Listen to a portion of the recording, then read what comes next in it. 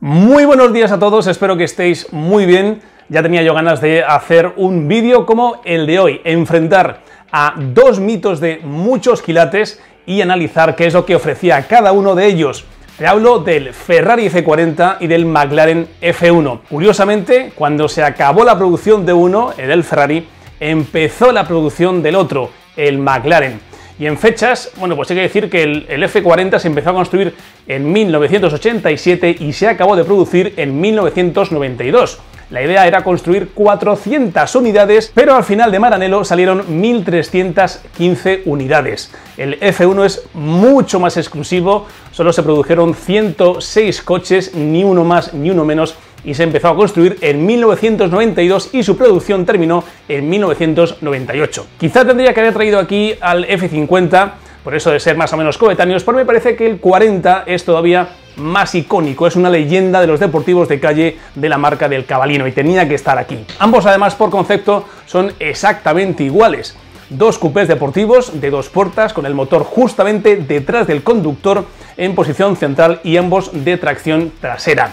Ambas marcas estaban además obsesionadas por el peso, utilizando materiales como la fibra de vidrio o el carbono para hacer que sus criaturas ofreciesen prestaciones nunca vistas hasta la fecha en un coche de calle. Por ejemplo, el F40 ofrecía un diseño firmado por Pininfarina con paneles de Kevlar, fibra de carbono y aluminio para aumentar la resistencia y reducir el peso. Materiales carísimos para aquella época. El peso se minimizó aún más mediante el uso de parabrisas y ventanas de plástico y no se instalaron ni alfombrillas, ni sistemas de sonido o manecillas en las puertas. El único lujo era el aire acondicionado y las primeras unidades tenían también ventanas fijas, aunque bueno, posteriormente se instalaron ventanillas nuevas que se podían abatir. Todo ese esfuerzo, la verdad, es que no, pues no fue en vano.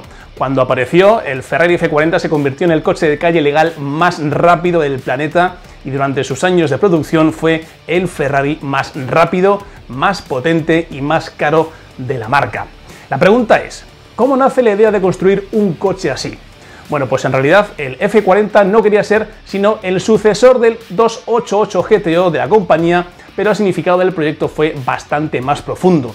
A los 90 años, el propio Enzo Ferrari era ya muy consciente de que su vida estaba ya llegando a su fin y estaba algo decepcionado con los resultados de la marca en el mundo de la competición. Así que, bueno, pues el propio Enzo quería que se pusiese en marcha un nuevo proyecto que pudiera recordarle al mundo las capacidades de la compañía como fabricante y de paso poner contra las cuerdas al Porsche 959 que era un rival directo. ¿De dónde viene el nombre de F40? Bueno, pues es fácil del inminente 40 aniversario de la compañía. El plan era bastante simple, crear un vehículo que combinara las mejores tecnologías de la competición sin lujos, pero que fuese capaz de ser a la vez un buen coche para la carretera. Y así se hizo. Fue el último deportivo encargado por el propio Encho antes de su muerte.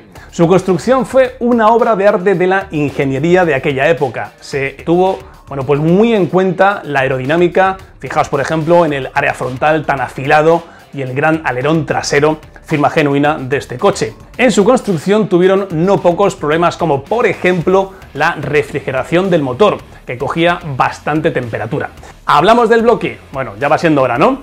No es sino una evolución del 2.9 V8 sobrealimentado del GTO que desarrollaba 478 caballos, con sus 1100 kilos de peso, el F40 tenía una puesta en escena brutal.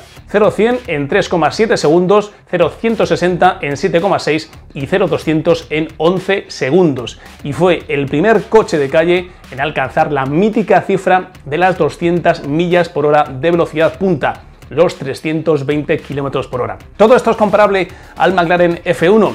Bueno, pues la firma inglesa hizo las cosas de una manera muy parecida, la verdad, pero los ingleses ganaron la batalla en cuanto a la velocidad, estableciendo el récord del coche de producción más rápido del mundo con, ojo al dato, 391 km por hora. Hoy en día ya hay coches más rápidos, pero es que el F1 sigue siendo a día de hoy el más rápido con un motor atmosférico. Y sí, al igual que el del Cabalino, también hubo unidades de carreras y de hecho el McLaren F1 tuvo muy buenos resultados, incluida las 24 horas de Le Mans de 1995, donde ganó bajo un diluvio muy intenso.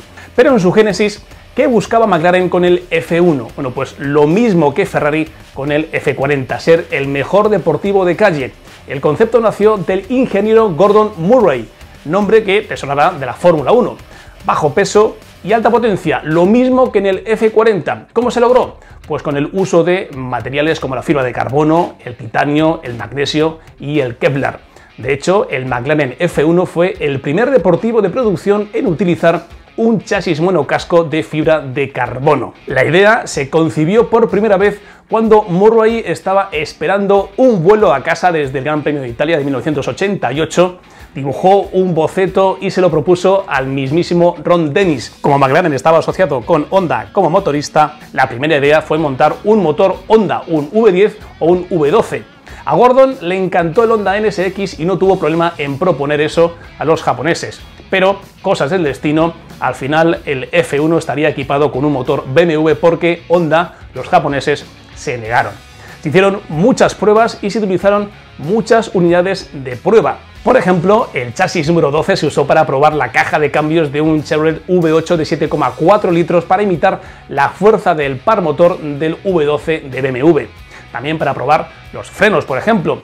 Todos estos chasis se destruyeron. Pero hablemos del motor. Gordon Murray insistió en que el motor tenía que ser de aspiración natural, atmosférico, para aumentar la fiabilidad y el control del conductor. Al final obtuvieron un bloque V12 a 60 grados de 6,1 litros de 627 caballos que era bueno, unas cifras considerablemente más altas que las especificaciones que había exigido Murray de 550 caballos. Prestaciones bueno, pues un 0 a 100 en tan solo 3,2 segundos y una aceleración desde parado hasta 250 en 12,8 y hasta 330 en 28 segundos. Obviamente el F40 no tiene nada que hacer con respecto a estas cifras y como curiosidad el F1 es algo más aerodinámico que el F40 con un CX de 0,32 por el 0,34 del Ferrari. Y no tiene necesidad de alas para producir carga aerodinámica, ya que la parte inferior explota el llamado efecto suelo, que se incrementa con el uso de dos ventiladores eléctricos para disminuir aún más la presión debajo del coche. Toda esa potencia en ambos coches hay que detenerla y el sistema de frenos era bastante parecido en ambos. Para ello Ferrari, por ejemplo, recurrió a unos discos ventilados en las cuatro ruedas sin asistencia con 13 pulgadas de diámetro, pinzas Brembo y cuatro pistones. En el caso del McLaren también hay que hablar a esos discos de freno sin asistencia, pero ventilados y también perforados, hechos por la misma firma, por Brembo. Sin ABS, ambos deportivos requerían mucha habilidad si querías aumentar el ritmo. Gordon Murray intentó utilizar frenos de carbono para el McLaren F1, pero bueno, hay que decir que eh, descubrió que esa tecnología todavía no estaba suficientemente madura para aquel momento. Y nos queda hablar de la caja de cambios. En ambos casos la transmisión era manual, en el F40 era de solo 5 velocidades, mientras que en la del McLaren era de 6, firmada en este caso por Weissman, con un embrague de triple placa de carbono contenido en una carcasa de aluminio. Bueno, ya te he hablado del equipamiento del F40, que era súper espartano, solo con el aire acondicionado. El McLaren estaba un poquito mejor equipado, con algunas características de confort, como por ejemplo el del hielo eléctrico, elevalunas también eléctricos, el cierre centralizado remoto, sistema de sonido estéreo con capacidad para 10 CDs y bolsas de equipaje que estaban personalizadas. Como veis, el McLaren era un coche un poquito más evolucionado, un deportivo rapidísimo, pero que no prescindía de ciertos elementos de confort para el día a día. Eh, por su parte, el F40 era un purista, donde todo estaba pensado para ahorrar peso y generar las mejores sensaciones al volante, como si estuvieras día a día en una carrera de coches. En cuanto a precios, bueno, pues eh, un Ferrari F40 ahora mismo en buen estado puede llegar a costar más o menos un millón de euros muy fácilmente, nada que ver con el super exclusivo F1 que han llegado a pagar por él en subasta hasta 20 millones de euros. Y bueno, espero que bueno, hayas conocido un poquito más a estas dos joyas de la automoción, auténticos iconos sobre ruedas.